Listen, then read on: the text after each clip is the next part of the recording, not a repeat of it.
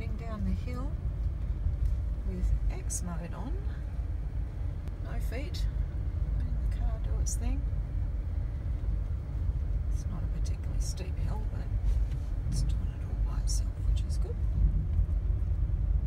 Every now and then you can hear a little crunch as it's slowing itself down or.